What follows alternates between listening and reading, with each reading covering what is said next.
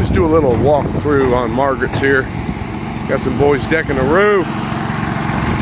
And uh, here before too long, we will have the last slabs poured in this whole phase here. So we got the surveyors here staking out. No, they're not staking out. They're actually doing a form board survey. So what the form board survey is, there's a proposed elevation of how high the slab's going to be. And then when the survey pins go in, they'll make a mark on their on one of their stakes of how high it's supposed to be, and then the slab guys pull string lines off of that. And then before we pour the slab, they'll shoot the survey for the form boards to make sure we're not too low. That's a big problem here when you have in the flatland world. This is slab number two of the day here.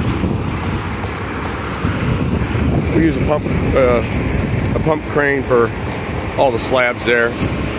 Back when I started, we guys just wheelbarrowing it for right from the cement truck all the way to the back. It was backbreaking, and, and we started spending a little bit more money to use that, and it really saves saves the boys.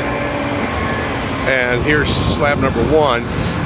They start at 6:30 this morning, which is you know really good service, and they just got to finish out the garage right there. That's all they got to do. They're already starting hand troweling and all that before probably right around lunchtime they'll be stripping the forms off. Oh, he's already popping some forms off of that recess for that HVAC here. We got block being delivered. We got block being laid. We got trusses getting delivered. We got crane down here flying trusses. And uh, there's a lot going on. And it's really great when there's so many workers out here. There's Jeff in the orange shirt.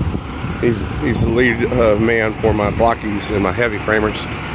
But otherwise, uh, down the road a little bit, we got some dry in, uh, roofs getting dried in, and we're getting ready to fly trusses over here. And busy day.